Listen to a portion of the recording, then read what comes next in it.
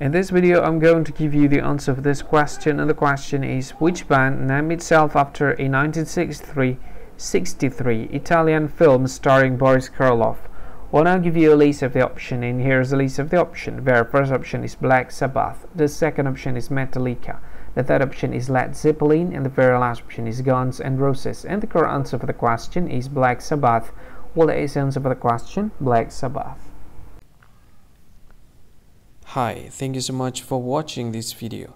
If you find this video is very useful, you can help this channel to grow by subscribing this channel. Please this subscribe button and don't forget to like this video. And if you find this video is not really good or you don't really like this video or you kind of feel that it's a little bit offensive or something like that, you can click this one, dislike button. You can do that anyway and if you want to share this video with your friend you can share it by clicking this share button and you can share it to any any social media that you wish that is currently available at this time like Facebook, Twitter, LinkedIn and many others right?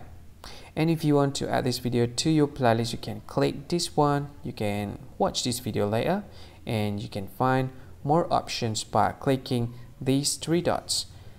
And yeah don't forget to subscribe. I think that's all of it. Thank you so much for watching this video and see you again in another video. Bye bye see you again